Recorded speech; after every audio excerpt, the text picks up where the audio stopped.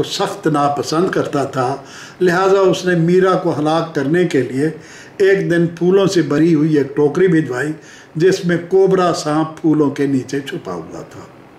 जब मीरा ने टोकरी खोली तो उसमें कृष्ण की एक छोटी सी मूर्ति गले में फूलों का हार डाले बैठी थी। इसके बाद विक, विक्रमादित्य ने प्रसाद में जहर मिला के मीरा को भिजवाया। मीरा जानती थी मगर वो जानबूझकर जहरीला प्रसाद खा गई मगर उस पर जहर ने ज़रा भी असर न किया। जब उसे हलाक करने की कोशिशें तेज़ हो गई तो उसने मुबैना तौर पर तुलसीदास को ख़त लिखकर मशवरा मांगा कि वो अब क्या करे। उसने जवाब भेजा कि तुम सीधी राह पर चलती रहो। खुदा से मोहब्बत सच्ची मोहब्बत है। जो उसको पसंद नहीं कर दे तुम उनको छोड़ दो। बिकमाजीत को 1536 में कत्ल कर दिया गया और उदय सिंह राजा बना।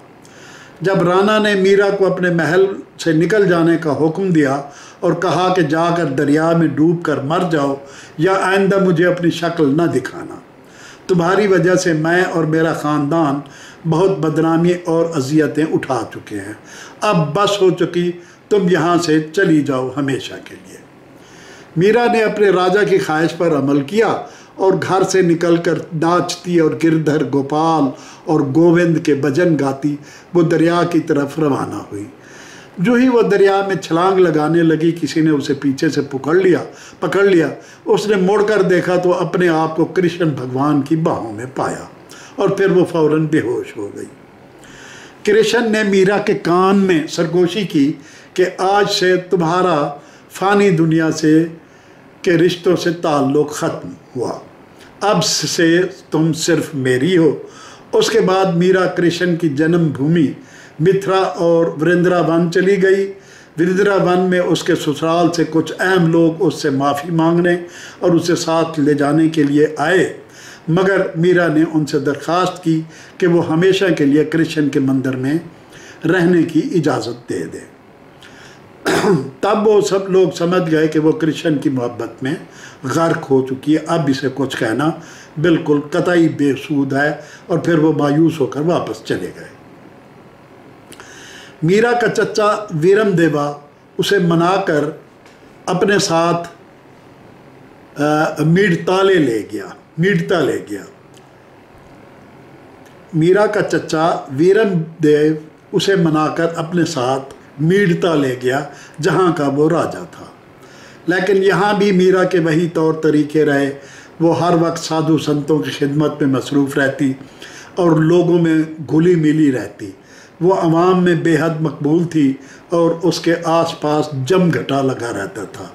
वो बस्ती के आलम में भजन गाती और मलंगनियों की तरह धमालें डालती। या कृष्ण को मनाने के लिए नाचने लग जाती। तेरे इश्क नचाया करके थैया थैया।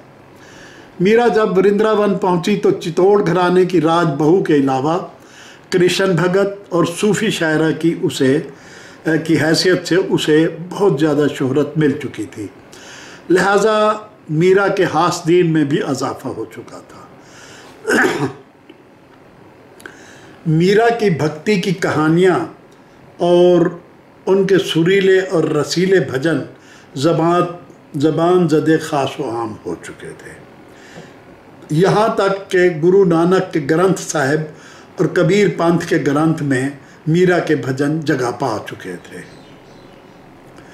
वृंदावन में युगो साई और दीगर महापुरुषों की साजिशों से तंग आकर मीरा दिल बर्दाश्त होकर गुजरात में द्वारका चली गई और वहाँ खस्ता हाल कदीम मंदिर को असर नव तामीर कराया, जहाँ किसी ज़माने में कृष्ण का घर हुआ करता था। इसके बाद मीरा द्वारका में हरि कृष्ण के द्वारका मंदिर में मुकीम हो गई। 1546 में राणा उदय सिंह ने ब्राह्मणों की एक जमात को ब्राह्मणों ब्राह्मणों की एक जमात को द्वारका भेजा कि किसी तरह मीरा को मनाकर चित्तौड़ ले आए। मगर मीरा ने द्वारका छोड़ने से इनकार कर दिया। जिस पर ब्राह्मणों ने फाका कशी और भूख हड़ताल शुरू कर दी। रात को मीरा मंदिर के अंदर गिरधर जी का हुक्म लेने गई, मगर बाहर ना निकली। सुबह जब मंदिर का बड़ा ताला खोला गया, बड़ा दरवाज़ा खोला गया तो मूर्ति के हाथ में मीरा की साड़ी पड़ी थी। आमतौर पर यही समझा गया कि वह प्रेम पुजारन कृष्ण की ज़ात में फना हो गई है।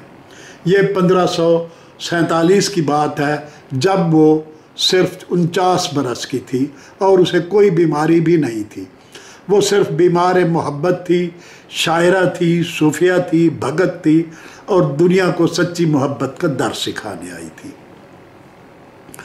उसके बाद ब्राह्मण मायूस होकर चित्तौड़ वापस चले गए और मीरा एक नामालूम बैरागन के रूप में दक्कनी हिंदुस्तान की यात्रा को चली गई। फिर उनको कोई खबर ना मिली। 1560 में वो आगरा और अजमेर में नज़र आई। एक बार मुग़ल बाद, बादशाह अकबर अपने अजीम रत्नों राजा मान सिंह बीरबल, तानसेन और रानी अजूदा बाई मरियम जमानी के हमरा मीराबाई के भजन सुनने आया। उसने मुबैना तौर पर मीरा के मुकद्दस पाँव को छुआ और मोतियों का एक कीमती हार कृष्ण के कदमों पर निछावर कर दिया। 1565 के लगभग ये बेमिसाल शायरा भगत और कृष्ण दीवानी अपने खाकी जिस्म को छोड़कर कृष्ण के अब्दी वजूद में समा गई। उसने भारतवर्ष की कई रिवायात को बदल दिया मीरा ने।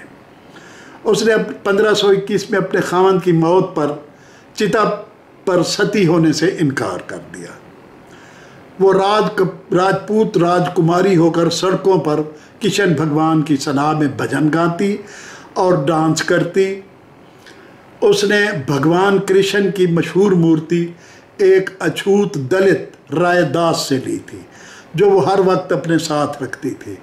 ये भी कहा जाता है कि मीरा अपने पहले जन्म में भी कृष्ण की भगत थी, जब उसका नाम ललिता था। जब वो कलयुग में पैदा हुई तो वो मीरा बनकर भी कृष्ण की मोहब्बत की हसीर रही। मुझे कामिल यकीन नहीं है, मगर कहने वाले मंदरजा जैल कलाम को मीराबाई का कलाम कहते हैं। धान न भावे, नींद न आवे, बिरह सताए मोए। घायल सी घूमत में फिरूं, मेरा दर्द न जाने कोए। बिरहन बैठी रंग महल में मोतन के लड़पोए जो मैं ऐसा जानती, प्रीत किए दुख होए। नगर ढंडोरा पीटती, प्रीत न करियो कोय कागा सब तन खाइयो और चुन चुन खाइयो मांस। दो नैना मत खाइयो, इन्हें पिला पिया मिलन की आस। ये थी आज की कहानी।